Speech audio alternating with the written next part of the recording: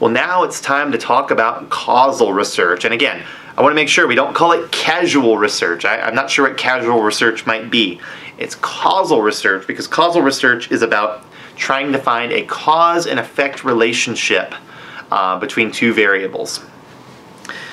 And um, it tends to be primary, although not always, but it tends to be primary and it tends to be quantitative in nature um, just because we, we need uh, numerical data in order to generally establish a cause and effect. Not always, but generally speaking, that's what we're looking for. So before I begin talking about causal research, I need to talk a little bit about experimental design. Now, I, I, I don't want to go into a lot of detail. Um, it is it is it is mentioned in your textbook, and I think while I'm not wild about their description of descriptive research in the textbook, I think that their discussion of causal research is pretty good, and um, they'll walk you through the basics. So the idea of an experiment is that we are going to set up some kind of structure to understand um, if a change in something results in uh, a change in something else. So in other words, um, if I have some candy bars and I want to see how well they sell, if I put them up by the cash register, will they sell better being there than they would if they were with all the other candy bars uh, in the candy bar section of my store? So that's, that's what an experiment might set out to, to prove. And because um, experimental design can be really tricky and really nuanced, there are some different styles or different approaches that we need to take in order to um, have what we call validity in our in our research. So let's let's learn a few words that we need to know when we're talking about experimental design. So first of all, um, in, in an experiment, we generally have something that's called a control group and something that's called an experimental group. Now, a control group is a group that we're looking at where um, they're just going through a normal experience. We're not we're not changing anything on them. So, for example, if the normal experience is to go up to the cash register and there are no candy bars there, um, then they go up to the cash register and there's no candy bars there, and they they make their purchase and they move on. Uh, and if they want candy bars, they have to go back to where the candy bars normally are in the candy bar section of the store. The experimental group, if we're trying to learn if the presence of candy bars at the register increases sales, the experimental group will actually see the candy bars there. And they'll have an opportunity to uh, be exposed to those candy bars and we'll see if they sell better in that position than they did back in the candy bar section of the store. And what we're going to do at the end is we're going to compare what happened in the control group and what happened in the experimental group and try to understand um, did we sell enough candy bars from this display up front that it justifies saying that they're going to sell better if we put them up front where people can actually uh, see them isolated and alone as opposed to having them back with all the other candy bars in the normal spot of the store or are the sales relatively the same and therefore manipulating the placement of those candy bars doesn't really have an effect on their sales. That's what experimental design would, would try to seek out. Um, often in an experimental design, we're going to take a pre-test and a post-test. So in our candy bar example, um, you know, we would generally look at both groups before we change the placement of those candy bars in the experimental group, and we would see how each group is buying the candy bars. And then um, we would manipulate our variables. So for the control group, we would leave everything the same. For the experimental group, we would move the candy bars up to the front by the cash register. And then um, we would take a post test, which is where we take a draw after we made that change, and we would see if between our pre-test and our post-test, post-test, excuse me, a change has taken place. So um, again, this is part of, of, of good experimental design, having two different points of data that we are comparing from two different points in time when we conduct an experiment, we're, we're really looking for two different types of what we call validity. Now, validity is, is what tells us if the findings of an experiment are going to hold true. When we're conducting an experiment in a more laboratory kind of setting, a place that's highly controlled, um, we're looking for internal validity. In other words, if we keep repeating this experiment over and over and over, are we going to keep getting the same results?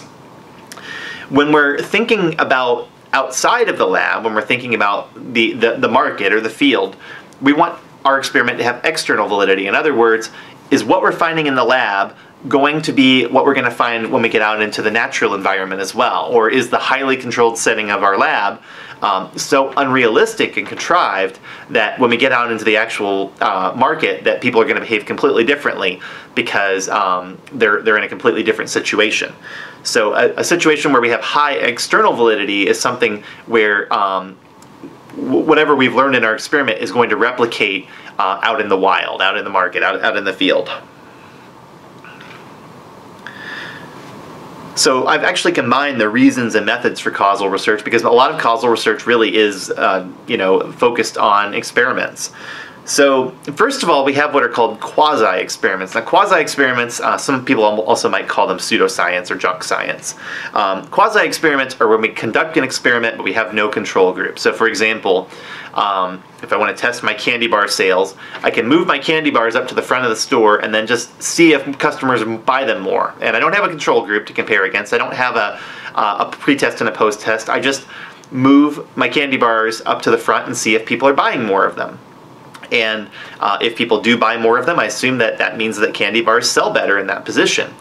The problem with a quasi-experimental design is that I don't actually know why the candy bars are selling better. I can assume that it's because I moved them to a more visible location, um, but it might also be that during that time there's an advertisement campaign going on for uh, that particular brand of candy bar and it's making people crave it more.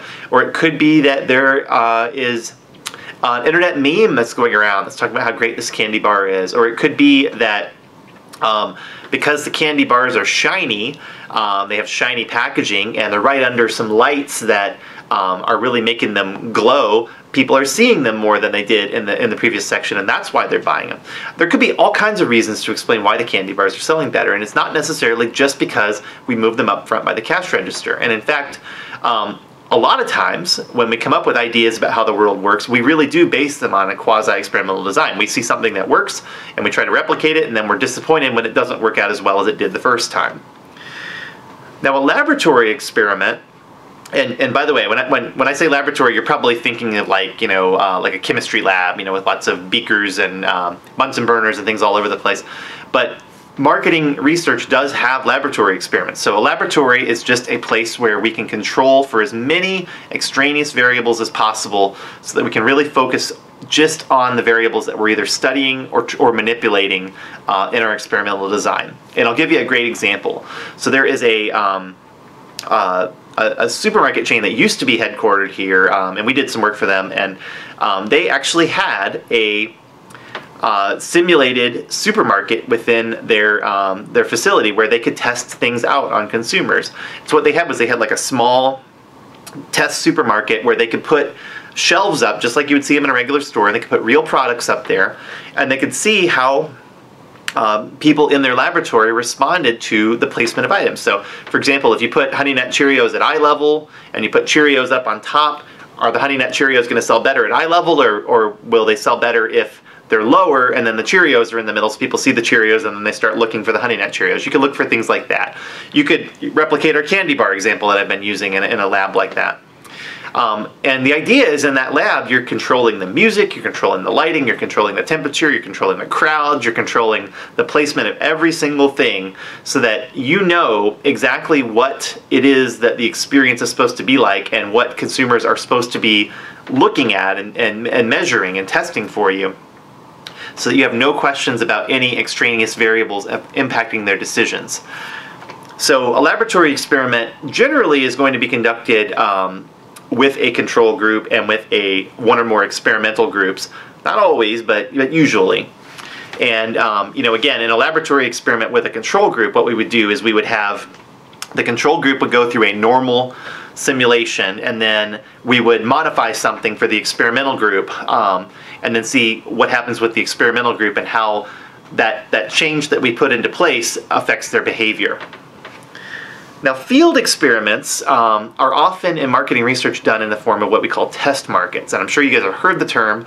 Uh, you probably have a rough idea of how test markets work but um, they, they vary and they could be rather complicated or, or rather simple depending on uh, the design that you choose. So the basic idea of a test market is that instead of having a laboratory where we're controlling everything, we're going to put products out into the wild and we're going to see how they do. But we're going to do so in a measured way where we have one group that is our control group and one or more groups that are our experimental groups, and we're comparing how our products fare with those different groups. So, for example, here in St. Louis, um, St. Louis, by the way, would be an excellent test market. It is, is an excellent test market because it's geographically uh, pretty far away from other cities. You have to drive three or more hours to get to other cities. Um, we have a pretty centralized media. You know, we don't have uh, media from other cities that, that really are impacting us. So all of our advertising here is pretty local. Um, and, and also it's really easy to carve the St. Louis area up into distinct regions. So you could cut the St. Louis region in half um, by north or south or east or west or by zip codes or whatever. And um, you could say, okay, in half of the St. Louis region, we're going to introduce a new product. Uh, let's say candy bars again. So we're going to introdu introduce a new candy bar, chocolate with nuts, and all of our other candy bars are just regular chocolate.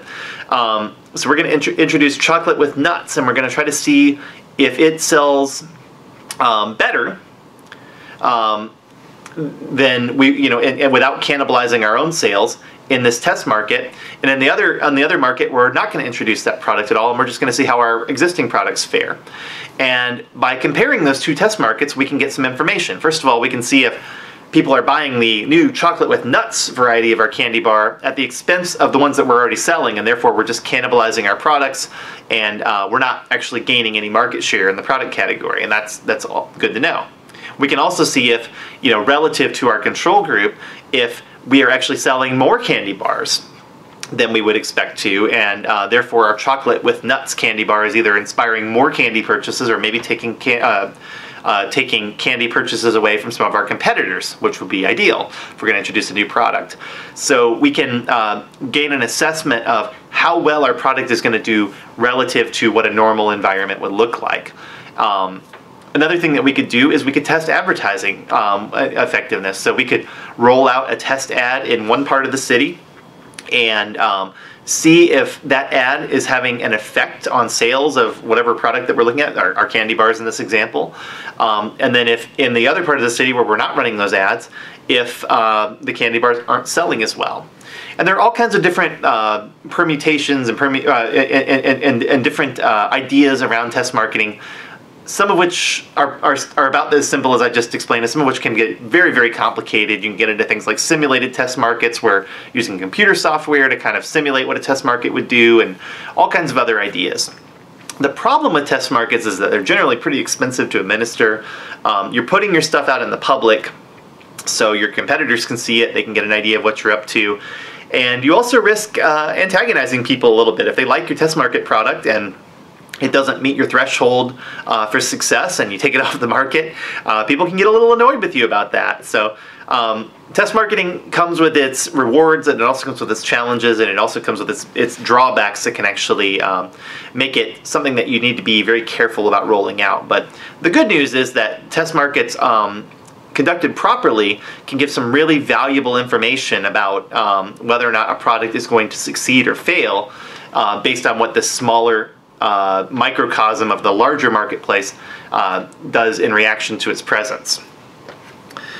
One other form of causal research, uh, actually many other forms of causal research, come under this category of advanced analytics. And these are a little different from um, the descriptive advanced analytics. These often require a PhD or higher. Um, you know, they're way, uh, they're, they're above my pay grade even, um, you know, as, a, as someone with a master's degree.